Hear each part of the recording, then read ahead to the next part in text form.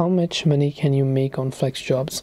Hey everybody welcome back to our channel. In today's video we're going to learn how much money can you actually make on FlexJobs. So make sure to watch the video till the end well it actually really really depends upon what your niche is about what kind of work you do and how many hours of work you work per day.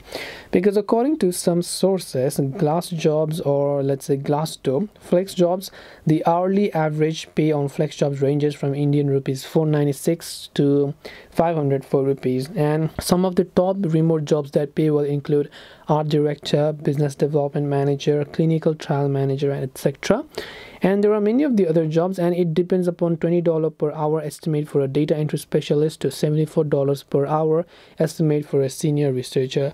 So these are simply some of the insights but it all really depends upon what kind of work you do and how dedicated you are. This way you'll be able to figure out how much money you can make on FlexJobs. Hope this video is very helpful. If you have got any more questions then feel free to leave them down in the comment section below. Thank you for watching till the very end and see you soon in the next video